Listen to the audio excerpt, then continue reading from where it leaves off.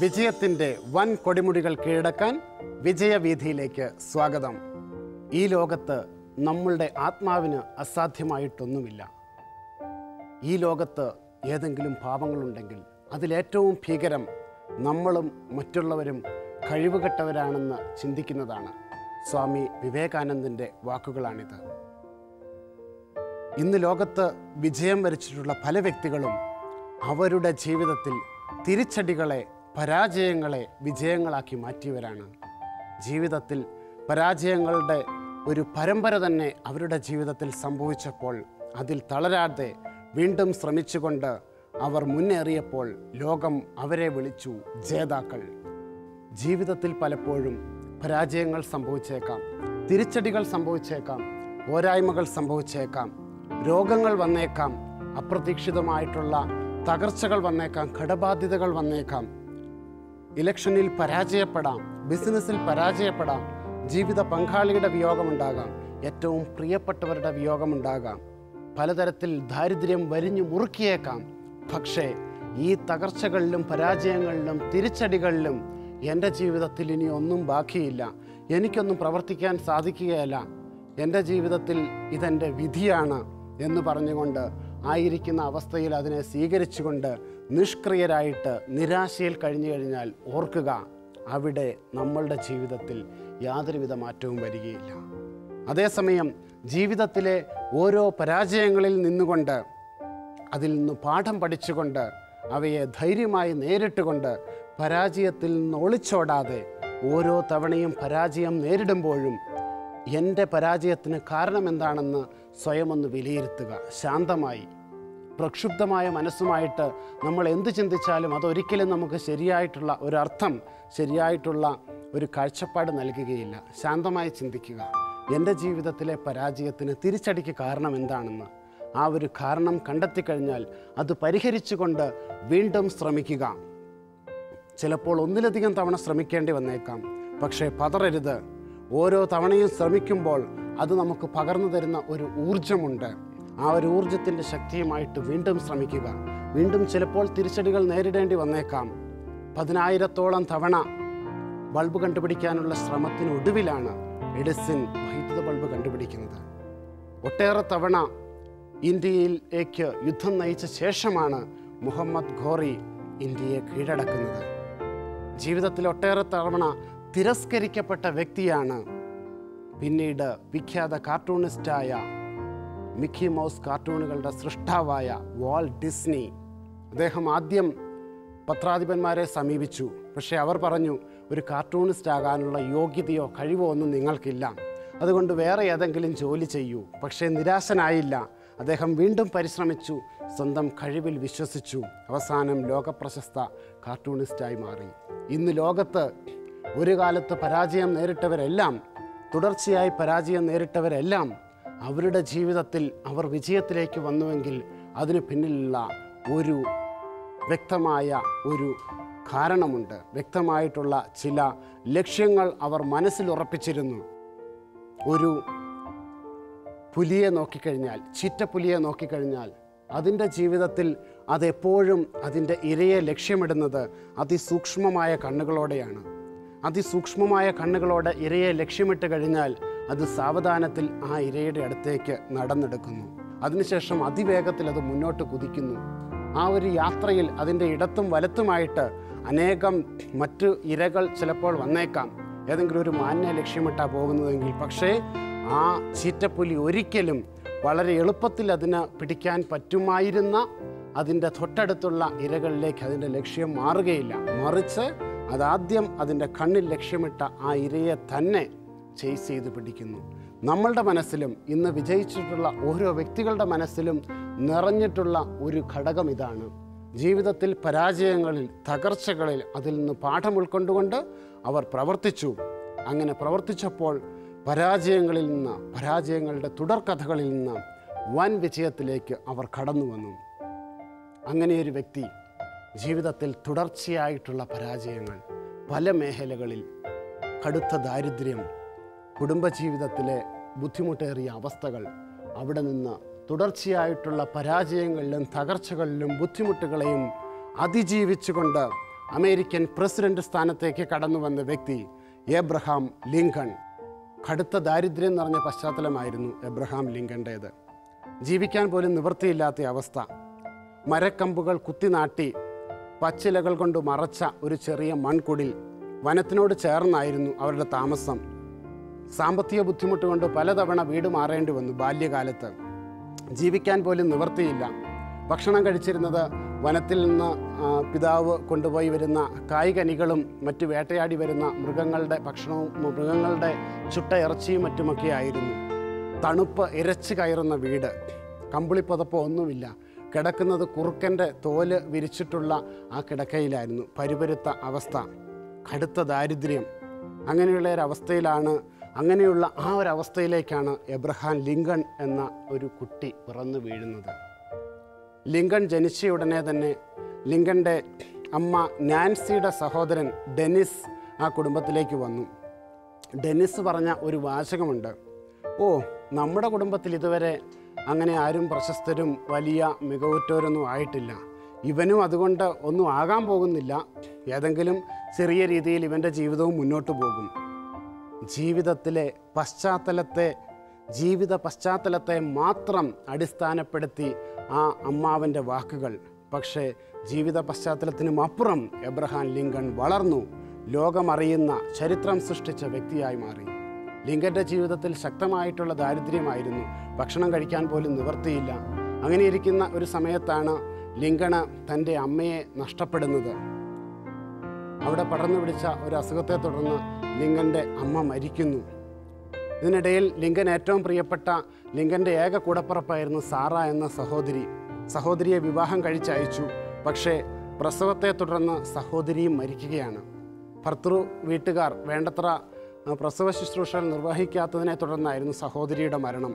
അതോടുകൂടി മാനസികമായി വളരെയധികം തളർന്ന ഒരവസ്ഥയിലേക്ക് എത്തി ലിങ്കൻ. വളരെ ചെറുപ്രായത്തിൽ തന്നെ സഹജീവികളോടുള്ള ലിങ്കന്റെ സ്നേഹം പ്രകടമായിരുന്നു. ഒരു ദിവസം ലിങ്കന്റെ കൂട്ടുകാർ ചെറിയ ഉറുമ്പുകളെ പിടിച്ച് അവയുടെ മുകളിലേക്ക് കനൽക്കട്ടകൾ വിതറുന്ന കാഴ്ച കണ്ടു. കൊച്ചു ലിങ്കൻ ഇത് കണ്ടതും തന്റെ നഗ്നമായ കാലുകൾ കൊണ്ട് തന്നെ അത് തട്ടിത്തെറിപ്പിക്കുകയായിരുന്നു. ഒരു ദിവസം കുടുംബവും എല്ലാവരും മറ്റൊരു സ്ഥലത്തേക്ക് താമസം മാറിയ സമയം വളരെ അവർക്കൊരു നദി കടന്ന് അക്കരെ കടക്കേണ്ടതുണ്ടായിരുന്നു. ആ ശക്തമായ തണുപ്പിൽ ഐസ് പോലെ മരവിച്ച ആ നദിയിലൂടെ അക്കരെ കടന്നപ്പോഴാണ് അവരൊരു യാഥാർത്ഥ്യം മനസ്സിലാക്കുന്നത്. തങ്ങളുടെ നായ്ക്കുട്ടിയെ അക്കരെ കടത്താൻ മറന്നുപോയി. അക്കരെ ആ നായ്ക്കുട്ടി കിടക്കുകയാണ്. ഇതറിഞ്ഞ ഉടൻ ലിങ്കൺ തിരിച്ച് ആ നദിയിലൂടെ തണുപ്പിനെ അവഗണിച്ച് എന്ന് നായ്ക്കുട്ടിയുമായിട്ട് തിരിച്ചെത്തി. ഇതിനെക്കുറിച്ച് ചോദിച്ചപ്പോൾ ലിങ്കൻ പറഞ്ഞൊരു വാചകമുണ്ട്. എന്നെ കണ്ടപ്പോൾ ആ നായ്ക്കുട്ടിയുടെ മുഖത്തുണ്ടായിട്ടുള്ള ആ ഒരു നന്ദി പ്രകടനം എനിക്കത് മാത്രം മതിയെന്ന്. പിന്നീട് ജീവിതത്തിൽ ഒട്ടേറെ നേട്ടങ്ങളിലേക്ക് കടന്നു ചെല്ലുന്നതിന് ലിങ്കന് ഒരു വലിയ പ്രചോദനം ലിങ്കന്റെ ജീവിതത്തിൽ തന്നെയുള്ള ഇത്തരം ചില പ്രവൃത്തികളും മറ്റുമൊക്കെയായിരുന്നു. അതിനുശേഷം ലിങ്കൻ ഒരു പോസ്റ്റ് ഓഫീസിൽ പോസ്റ്റ് മാസ്റ്ററും പോസ്റ്റ്മാനും ഒക്കെ ആയിട്ട് ജോലി ചെയ്തു. ആ സമയത്താണ് ഒരു പെൺകുട്ടിയുമായിട്ട് പരിചയത്തിലാകുന്നത്. പക്ഷേ അവിടെയും വിധി ലിങ്കനെതിരായി. ആ പെൺകുട്ടിയോട് വിവാഹത്തിന് അടുത്തെത്തിയ ഒരു സമയത്താണ് ആ പെൺകുട്ടി അസുഖം ബാധിച്ച് മരിക്കുന്നത്. അങ്ങനെ ആദ്യമായിട്ട് പ്രണയിച്ച പെൺകുട്ടിയുടെ മരണം. അതിനുശേഷം അദ്ദേഹം വക്കീൽ പരീക്ഷ പാസ്സായി. അഭിഭാഷകനായിട്ട് എൻറോൾ ചെയ്യാനായിട്ട് അദ്ദേഹം ചെല്ലുന്നത് പ്രശസ്തമായൊരു നഗരത്തിലേക്ക്. അദ്ദേഹം ആദ്യം ചെല്ലുന്ന ഒരു വ്യക്തി ജോഷുവ എന്നുള്ള ഒരു വ്യാപാരിയുടെ അടുത്താണ്. അദ്ദേഹം അദ്ദേഹം ആ വ്യാപാരിയോട് പറഞ്ഞു എന്റെ കയ്യിലാകെ പതിനേഴ് ഡോളറാണുള്ളത്. എനിക്കൊരു കിടക്കയാണ് വേണ്ടത്. പക്ഷേ ആ കിടക്കയ്ക്ക് തരാനുള്ള ഇതിൽ കൂടുതൽ പണം എന്റെ കയ്യിലില്ല. ഞാൻ ജോലി ചെയ്തു കഴിഞ്ഞാൽ ഒരു പക്ഷേ അത് തിരിച്ച് നൽകാൻ സാധിച്ചേക്കാം. ചിലപ്പോൾ എനിക്ക് സാധിച്ചില്ല എന്നും വരാം. ലിങ്കന്റെ ആത്മാർത്ഥത കണ്ട് അദ്ദേഹം ലിങ്കണെ തന്നോടൊപ്പം അവിടെ ചേർക്കുകയാണ്. ആദ്യമൊക്കെ കേസൊന്നും ഇല്ലാത്ത ഒരു വക്കീലായിരുന്നു. പക്ഷേ പതിയെ പതിയെ അദ്ദേഹം ഇലക്ഷനിലേക്ക് വന്നു. പല ഇലക്ഷനുകളിലും പരാജയപ്പെട്ടു. അദ്ദേഹം വിവാഹം കഴിച്ചു. മേരി എന്നായിരുന്നു അദ്ദേഹത്തിന്റെ ഭാര്യയുടെ പേര്. ലിങ്കൺ ഒരു തരത്തിലുള്ള സ്വസ്ഥതയും കൊടുക്കാത്ത വ്യക്തിയായിരുന്നു മേരി. ലിങ്കനെ സൗന്ദര്യത്തിന്റെ പേരിൽ പലതവണ ആക്ഷേപിച്ചിട്ടുണ്ട്. ഒരു ദിവസം മറ്റുള്ളവരുടെ എല്ലാം മുന്നിൽ വെച്ച് എന്തോ പറഞ്ഞ് ദേഷ്യപ്പെട്ട ലിങ്കന്റെ തലയിലേക്ക് ചായക്കപ്പ് കമത്തി. പക്ഷേ ക്ഷമയോടുകൂടി നേരിട്ടു. ലിങ്കൺ ഒരു തരത്തിലും പ്രതികരിച്ചില്ല. അവസാനം ഒട്ടേറെ പരാജയങ്ങൾക്കൊടുവിൽ അമേരിക്കൻ പ്രസിഡന്റ് സ്ഥാനത്തേക്ക് ഏബ്രഹാം ലിങ്കൺ തിരഞ്ഞെടുക്കപ്പെട്ടു. ചരിത്രത്തിൽ അടിമത്തം നിരോധിച്ചുകൊണ്ടുള്ള വിഖ്യാതമായ ആ ഒരു വിളംബരത്തിൽ ഒപ്പുവെച്ചു. ജീവിതത്തിൽ ചരിത്രം തിരുത്തിക്കുറിച്ചുകൊണ്ട് വൻ വിജയം നേടിക്കൊണ്ട് അനേകം ആളുകൾക്ക് പ്രചോദനമായി മാറിയ ഏബ്രഹാം ലിങ്കൺ ആ ലിങ്കന്റെ ജീവിതത്തിലേക്ക് നമുക്കൊന്ന് കടന്നു ചെല്ലാം.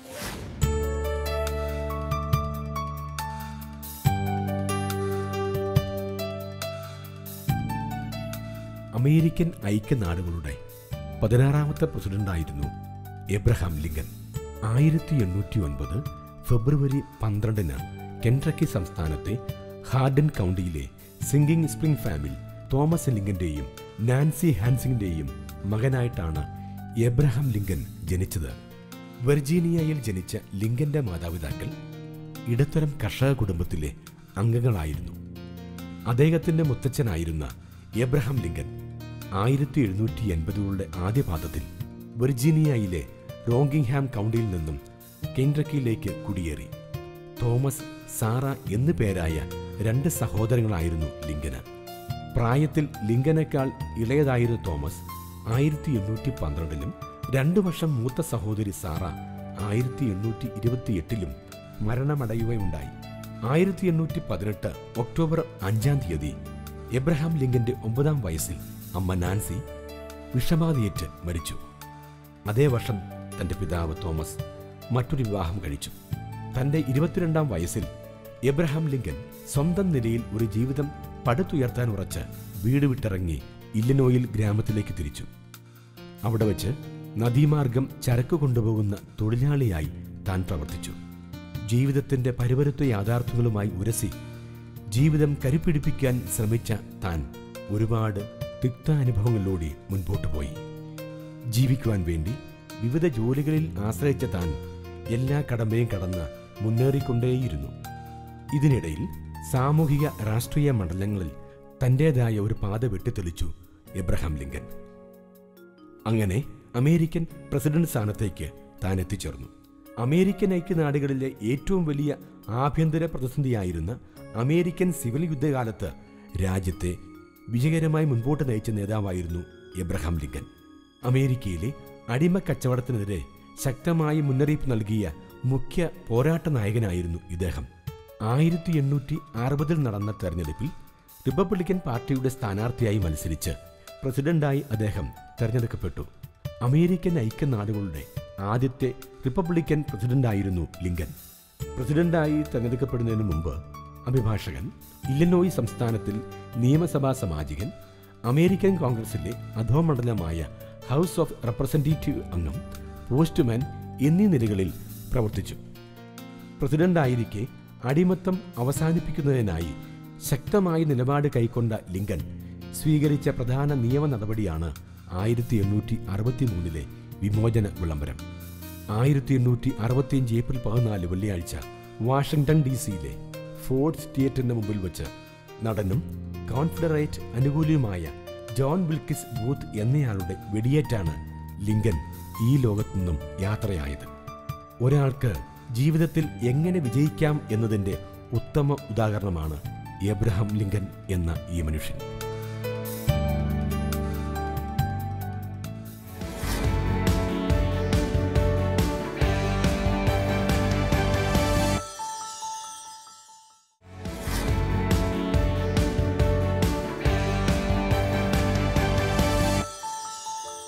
ഒട്ടേറെ പരാജയങ്ങൾ. നമ്മളുടെയൊക്കെ ജീവിതം നോക്കിക്കഴിഞ്ഞാൽ ഇത്രയേറെ ജീവിതത്തിലെ മേഖലകളിൽ പരാജയങ്ങൾ നേരിടേണ്ടി വന്നാൽ കുടുംബജീവിതത്തിൽ ആദ്യമായി പ്രണയിച്ചയാളെ ജോലിയിൽ ബാല്യകാലത്ത് ഒക്കെ ഈ പരാജയങ്ങളിലെല്ലാം ലിങ്കൻ തളരാതെ പിടിച്ചു നിന്നു എന്നൊരിക്കലും അർത്ഥമില്ല. ലിങ്കന്റെ ജീവിതത്തിൽ മാനസികമായ ബുദ്ധിമുട്ടുകൾ ഉണ്ടായിട്ടുണ്ട് ഡിപ്രഷനുകൾ ഉണ്ടായിട്ടുണ്ട്. പക്ഷേ ഓരോ അവസ്ഥയിലും ശക്തമായ ദൈവാശ്രയബോധം ലിങ്കനുണ്ടായിരുന്നു. ലിങ്കന്റെ അമ്മയെ അമ്മ മരിച്ച സമയത്ത് അമ്മയെ ശുശ്രൂഷിക്കാൻ അമ്മയുടെ ശവസംസ്കാര ചടങ്ങ് പോലും നടത്താൻ വേറെ ആരുമില്ലായിരുന്നു. ലിംഗനും അപ്പനും കൂടെ ചേർന്നാണ് ശവപ്പെട്ടി ഉണ്ടാക്കി ആ, അമ്മയെ സംസ്കരിച്ചത്. പിന്നീട് അതുവഴി കുറേ നാളുകൾക്ക് ശേഷം ഒരു വൈദികൻ കടന്നുപോയപ്പോൾ തന്റെ മനസ്സിലെ ആ ഒരു വിശ്വാസത്തിൽ നിന്നുകൊണ്ട് ആ വൈദികനെ കൊണ്ട് ശുശ്രൂഷ ചെയ്യിക്കുകയായിരുന്നു. ദൈവാശ്രയബോധം മാത്രമാണ് ലിങ്കന്റെ ഓരോ അവസ്ഥകളിലും ലിങ്കന് തുണയായിട്ടുള്ളത്. നമ്മളുടെ ജീവിതത്തിലും നമ്മൾ ഏതൊക്കെ ബുദ്ധിമുട്ടുകളിലൂടെ കടന്നു പോയാലും ഓരോ തവണയും നമുക്ക് കൈമുതലാകേണ്ടത് ഒരു ശക്തമായ മനസ്സാണ്. തളരാത്തൊരു മനസ്സാണ്. എന്റെ മനസ്സ് തളർന്നു കഴിഞ്ഞാൽ എനിക്കൊന്നും ചെയ്യുവാൻ സാധിക്കുകയില്ല. എന്റെ ജീവിതത്തിൽ പ്രതീക്ഷ വറ്റിക്കഴിഞ്ഞാൽ എനിക്ക് ജീവിതത്തിൽ ഒന്നും പ്രവർത്തിക്കാൻ സാധിക്കുകയില്ല. പ്രതീക്ഷ പറ്റിയ ഒരു വ്യക്തിയുടെ മനസ്സ് നിർജീവമായിട്ടുള്ള ഒരു വ്യക്തിക്ക് തുല്യമായിരിക്കും.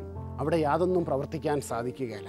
അതുകൊണ്ട് ജീവിതത്തിൽ ഏത് തകർച്ചകളിലൂടെ കടന്നു പോകട്ടെ. എത്ര പരാജയങ്ങൾ സംഭവിച്ചു കൊള്ളട്ടെ എത്ര പ്രതിസന്ധികൾ സംഭവിച്ചു കൊള്ളട്ടെ ആ സമയത്തെല്ലാം തളരാത്ത മനസ്സുമായിട്ട് ഒരു ശുഭപ്രതീക്ഷയോടുകൂടി എന്റെ ജീവിതത്തിൽ പ്രതീക്ഷയുടെ മികവിന്റെ ഒരു ദിവസം കടന്നു വരും എന്നുള്ള ചിന്തയിൽ ആ ഒരു ശുഭപ്രതീക്ഷയിൽ നമുക്ക് ജീവിതത്തെ നോക്കിക്കാണാം. അതുവഴി കൂടുതൽ മികച്ച നേട്ടങ്ങൾ കൈവരിക്കാം. എബ്രഹാം ലിംഗന്റെയും മറ്റും ജീവിതം നമ്മളുടെ മനസ്സിലേക്ക് കൊണ്ടുവരുന്ന ഒട്ടേറെ ചിന്തകളുണ്ട് ചോദ്യങ്ങളുണ്ട്. പല പ്രേക്ഷകരും അവരുടെ ആ ചോദ്യങ്ങൾ അവരുടെ മനസ്സിൽ ഇപ്പോൾ നിൽക്കുന്നുണ്ടാകും. നിങ്ങളുടെ ചില ചോദ്യങ്ങളുമായി ചില പ്രേക്ഷകർ നമ്മോടൊപ്പം ചേരുന്നു. ആ ചോദ്യങ്ങളിലേക്ക് നമുക്കൊന്ന് കടക്കാം. സർ എന്റെ ചോദ്യം ഇതാണ്. നമ്മുടെ ജീവിതത്തിലെ ലക്ഷ്യങ്ങൾ കീഴടക്കാൻ ക്ഷമയുടെയും കാത്തിരിപ്പിന്റെയും ആവശ്യകത എത്രത്തോളമാണ്? ഒന്ന് വിശദീകരിക്കുമോ വിജയികൾക്ക് ഏതുതരം മനോഭാവമാണ് ഉണ്ടാകേണ്ടത്? സാർ ഒന്ന് വിശദീകരിക്കാമോ? സാർ എന്റെ ചോദ്യം ഇതാണ്. എല്ലാവർക്കും ജീവിതത്തിൽ ഒരു ലക്ഷ്യമുണ്ട്. എന്നാൽ ഈ ലക്ഷ്യങ്ങൾ എങ്ങനെയാണ് ഒരാളുടെ ജീവിതത്തെ സ്വാധീനിക്കുന്നത്? സാർ എന്റെ ചോദ്യം ഇതാണ്. ജീവിതത്തിലെ പ്രശ്നങ്ങൾ മനസ്സിനെ അസ്വസ്ഥമാക്കുമ്പോൾ നാം എന്താണ് ചെയ്യേണ്ടത്? ഇതിനെക്കുറിച്ചൊന്ന് പറയുന്നു പലപ്പോഴും നമുക്ക് ഒഴിവാക്കാൻ സാധിക്കാത്ത ഒന്നാണ് അപ്രതീക്ഷിതമായിട്ടുള്ള ജീവിതത്തിലെ സാഹചര്യങ്ങൾ. പക്ഷേ ഈ സാഹചര്യങ്ങളിൽ പോലും നമുക്കതിന്റെ ഒരു പോസിറ്റീവ് സൈഡ് എടുത്തു കഴിഞ്ഞാൽ നമ്മളുടെ ജീവിതത്തിൽ വലിയ പ്രതിസന്ധികളിലും പ്രശ്നങ്ങളിലും നമുക്ക് ആ വിജയത്തിലേക്ക് നടന്നെടുക്കാൻ സാധിക്കും.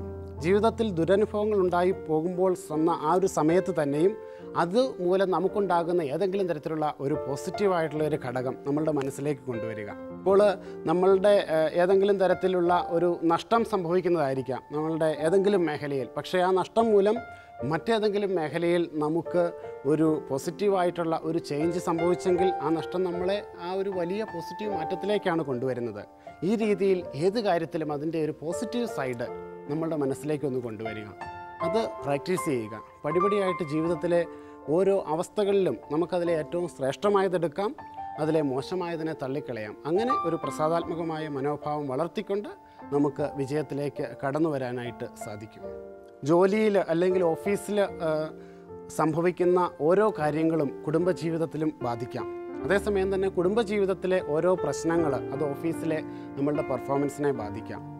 ഓഫീസിൽ വെച്ച് ബോസുമായിട്ട് ബോസുമായിട്ടല്ലേ മേലധികാരികളുമായിട്ട് ഏതെങ്കിലും തരത്തിലുള്ള ഒരു കലഹമോ മറ്റോ ഏതെങ്കിലും തരത്തിലുള്ള വഴക്കോ ഉണ്ടായതിന് ശേഷം മറുപടി പറയാൻ സാധിക്കാതെ അത് സപ്രസ് ചെയ്യുന്ന പല ആളുകളും അത് ചെന്ന് പ്രകടിപ്പിക്കുന്നത് പുറത്തെടുക്കുന്നത് വീട്ടിൽ ജീവിത പങ്കാളിയോടും മക്കളോടും ഒക്കെ ആയിരിക്കാം. അതുപോലെ തന്നെ തിരിച്ചും വീട്ടിൽ വെച്ച് ജീവിത പങ്കാളിയോട് ഏതെങ്കിലും തരത്തിലുള്ള ഒരു വഴക്കോ പ്രശ്നമോ ഒക്കെ ഉണ്ടായിട്ടുള്ള വ്യക്തികൾ ചിലപ്പോൾ അത് പ്രകടിപ്പിക്കുന്നത് ഓഫീസിൽ മറ്റുള്ളവരുടെ അടുത്തായിരിക്കാം. അതുകൊണ്ട് ഇത് പരസ്പരം ബന്ധിക്കപ്പെട്ടിരിക്കുന്നു എന്ന് മനസ്സിലാക്കിക്കൊണ്ട് നമ്മളെ തന്നെ നമ്മൾ സ്വയം നിയന്ത്രിക്കാൻ തയ്യാറാകണം. നമ്മൾ ശക്തമായിട്ടുള്ള ഒരു ദേഷ്യമോ മറ്റോ ഒക്കെയുള്ള ഒരു സമയമാണെങ്കിൽ അകാരണമായൊരു ദേഷ്യം കുറയ്ക്കാൻ വേണ്ടി അല്പസമയം ഒന്ന് ശാന്തമായിട്ടിരിക്കുക. അല്പസമയം ഒന്ന് മെഡിറ്റേറ്റ് ചെയ്യുക. പരിശ്രമിക്കാതെ ഒരിക്കലും നമുക്ക് ആത്യന്തികമായിട്ട് വിജയം നേടാൻ സാധിക്കുകയില്ല. ആദ്യത്തെ തവണ തന്നെ നമ്മൾ ഏത് കാര്യവും നേടണം എന്നൊരിക്കലും ശാഠ്യം പിടിക്കരുത്. ഒരു കൊച്ചുകുട്ടി തന്നെ എത്രയോ പ്രാവശ്യം നടക്കാൻ ശ്രമിച്ച് പലതവണ വീണതിന് ശേഷമാണ് ആ കൊച്ചുകുട്ടി നടക്കാൻ പഠിക്കുന്നത്. നമ്മൾ ഏതെങ്കിലും ഒരു കാര്യം പുതിയതായിട്ട് പഠിക്കുന്നത് തന്നെ എത്രയോ തവണ ശ്രമിച്ചതിന് ശേഷമാണ്. അതുകൊണ്ട് ജീവിതത്തിൽ മാത്രം നമ്മളുടെ ജീവിതത്തിൽ നമ്മളുടെ ലക്ഷ്യങ്ങളിൽ മാത്രം ആദ്യത്തെ തവണ തന്നെ എല്ലാം നേടിയെടുക്കണം എല്ലാം എനിക്ക് ലഭിക്കണം എന്നൊരിക്കലും ശാഠ്യം പിടിക്കരുത്. അനിവാര്യമായിട്ടുള്ള പരിശ്രമങ്ങളിൽ നമ്മളും പങ്കാളികളാവുക. വീണ്ടും നമ്മൾ ശ്രമിക്കുക. അതുവഴിയായിട്ട് നമുക്ക് നമ്മൾ ആഗ്രഹിക്കുന്ന ആ ഒരു വിജയം നേടിയെടുക്കാനായിട്ട് സാധിക്കും. ഗോതമ്പ് മണി നിലത്ത് വീണ അഴിയുന്നില്ല എങ്കിൽ അതൊരിക്കലും ഫലം പുറപ്പെടുവിക്കുകയില്ല എന്ന് വിശുദ്ധ ബൈബിളിൽ പറയുന്നുണ്ട്. ഗോതമ്പ് മണി അതായിരിക്കുന്ന അവസ്ഥയിൽ നമ്മൾ സൂക്ഷിച്ചു വെച്ചാൽ അത് ഏതെങ്കിലും ഒരു ഷെൽഫിൽ മനോഹരമായ ഒരു ചെപ്പിൽ അടച്ചു വെച്ചാൽ അത് അവിടെ ഇരുന്ന് ചെള്ളും മറ്റും കരണ്ട് അതിന്റെ ഒരു ജീവിത ലക്ഷ്യം തന്നെ അത് മറന്ന് ഒന്നുമില്ലാത്ത ഒരു അവസ്ഥയിൽ അത് പോകും. പക്ഷേ ആ ഗോതമ്പ് മണി നിലത്ത് വീണ് അത് മഴയും വെള്ളവും എല്ലാം അതിലേക്ക് വന്ന് ചെളിയെല്ലാം പറ്റി അത് അഴിഞ്ഞ് അത് പൊട്ടി അത് കിളിർത്ത് ഒരു ഗോതമ്പ് ചെടിയായിട്ട് വരുമ്പോൾ അത് ഫലം പുറപ്പെടുവിക്കുന്നുണ്ട്. നമ്മളുടെ ജീവിതത്തിലും നമ്മളുടെ ജീവിതത്തിൽ ഇത്തരത്തിലുള്ള ഒരു മാറ്റം അതിലൂടെ ആവശ്യമാണ് എന്ന് കരുതിക്കൊണ്ട് നമ്മളുടെ ജീവിതത്തിലെ ഓരോ സഹനങ്ങളിലൂടെ നമ്മളുടെ ജീവിതത്തിൽ വലിയ മാറ്റത്തിലേക്ക് വലിയ വിജയത്തിലേക്ക് നമ്മളെ കൊണ്ടുപോവുകയാണ് അവ എന്ന് മനസ്സിലാക്കിക്കൊണ്ട് നമ്മളവയെ സ്വീകരിച്ചാൽ നമ്മളുടെ ജീവിതത്തിൽ മികച്ച ഫലം നമുക്കും പുറപ്പെടുവിക്കാനായിട്ട് സാധിക്കും. ജീവിതത്തിൽ പരാജയങ്ങൾ പകർന്നു തരുന്ന ചില പാഠങ്ങളുണ്ട്.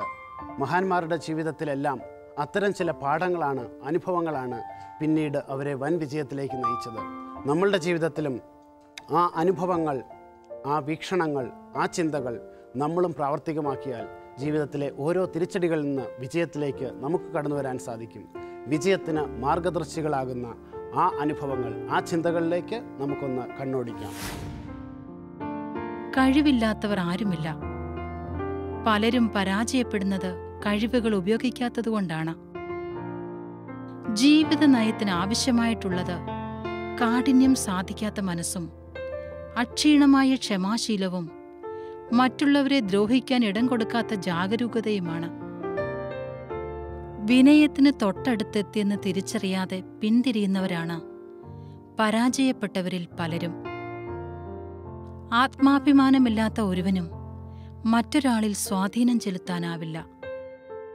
നമ്മുടെ കുറവുകളെക്കുറിച്ച് ചിന്തിക്കാതെ ദൈവം തന്നിരിക്കുന്ന കഴിവുകളെ വിലമതിക്കുക അത് കൂടുതൽ വിജയം നേടിത്തരും. പരാജയങ്ങളും തിരിച്ചടികളും അപമാനങ്ങളും രോഗങ്ങളും ഉണ്ടാകുമ്പോൾ തളരാതെ പ്രവർത്തിക്കുക. പോരായ്മകൾ തിരുത്തുക. ആത്യന്തിക വിജയം നിങ്ങൾക്കൊപ്പമായിരിക്കും. എത്ര വർഷം ജീവിച്ചു എന്നല്ല എങ്ങനെ ജീവിച്ചു എന്നതാണ് പ്രധാനം. ഒരു മരം മുറിക്കാൻ ആറു മണിക്കൂർ എനിക്ക് അനുവദിച്ചാൽ അതിൽ നാലു മണിക്കൂറും ഞാൻ ചിലവഴിക്കുന്നത് മഴുവിന്റെ മൂർച്ച കൂട്ടാനായിരിക്കും. ഏത് കാര്യവും വേണ്ട തയ്യാറെടുപ്പോടെ ചെയ്യുന്നവരാണ് വിജയികൾ. ഞാൻ സാവധാനത്തിലായിരിക്കും സഞ്ചരിക്കുന്നത്. പക്ഷേ ഞാൻ ഒരിക്കലും പിന്തിരിഞ്ഞു നടക്കില്ല. ജീവിതമെന്ന് പറഞ്ഞാൽ പലതരത്തിലുള്ള അനുഭവങ്ങളുടെ ഒരു പരമ്പരയാണ്.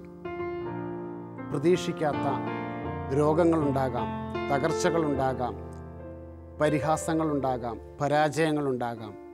ജീവിതത്തിൽ അപ്രതീക്ഷിതമായിട്ടുള്ള ദുരന്തങ്ങളെ അഭിമുഖീകരിക്കേണ്ടി വരാം. പക്ഷേ ഏതൊരവസ്ഥയിലും എനിക്ക് താങ്ങായി എന്റെ ദൈവമുണ്ട്. ആ ഒരു ചിന്തയിൽ ക്ഷമയോടുകൂടി നമ്മൾ പ്രവർത്തിച്ചു കഴിഞ്ഞാൽ വൻ വിജയം നമുക്ക് നേടിയെടുക്കാൻ സാധിക്കും. ബൈബിളിലേക്ക് നോക്കിക്കഴിഞ്ഞാൽ ജീവിതത്തിൽ പ്രതിസന്ധിയെ അഭിമുഖീകരിച്ച ഒട്ടേറെ ആളുകളുടെ ജീവിതം നമ്മളുടെ മനസ്സിലേക്ക് വരും. ജോബിന്റെയും മറ്റും ജീവിതത്തിൽ എത്രയോ പ്രതിസന്ധികൾ തകർച്ചകൾ കടന്നു വന്നു പക്ഷേ ഒരു തകർച്ചയിലും ജോബ് ദൈവത്തോടുള്ള തന്റെ വിശ്വാസം ബലി കഴിക്കുന്നില്ല മറിച്ച് ഓരോ തവണയും കൂടുതൽ വിശ്വാസത്തോടു കൂടി കൂടുതൽ ഊർജത്തോടു കൂടി പ്രവർത്തിച്ചു. വീണ്ടും ദൈവത്തിൽ ആശ്രയിക്കുന്നു. വീണ്ടും ശക്തി പ്രാപിക്കുന്നു. വിജയത്തിലേക്ക് കടന്നു വരുന്നു. വിജയം എന്നുള്ളത് അത് ഒറ്റയടിക്ക് നേടാവുന്നതല്ല. മറിച്ച് അത് ആത്യന്തികമായിട്ടുള്ള ഒരു ലക്ഷ്യമാകട്ടെ. ജീവിതത്തിലെ ഒട്ടേറെ മേഖലകളിലൂടെ ഒട്ടേറെ പ്രതിസന്ധികളിലൂടെ കടന്നു പോകുമ്പോഴാണ് നാം വിജയം നേടിയെടുക്കുന്നത്. ഏതൊരു പ്രതിസന്ധിയിലും ആ ദൈവത്തിൽ ആശ്രയിച്ചുകൊണ്ട് നമ്മളുടെ വിശ്വാസം നഷ്ടപ്പെടാതെ എന്റെ ജീവിതത്തിൽ മാറ്റം വരും എന്നുള്ള ശുഭപ്രതീക്ഷയിൽ നമുക്ക് പരാജയങ്ങളിൽ നിന്ന് പാഠം ഉൾക്കൊണ്ടുകൊണ്ട് പ്രവർത്തിക്കാം. കൂടുതൽ ഊർജത്തോടെ കൂടുതൽ ശക്തിയോടെ വിജയം നേടിയെടുക്കാം. അതിന് കഴിയട്ടെ എന്ന് ആശംസിക്കുന്നു. വിജയാശംസകൾ.